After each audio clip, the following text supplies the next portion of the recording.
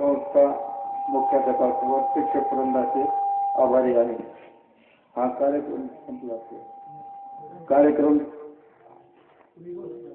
कार्यक्रम संपला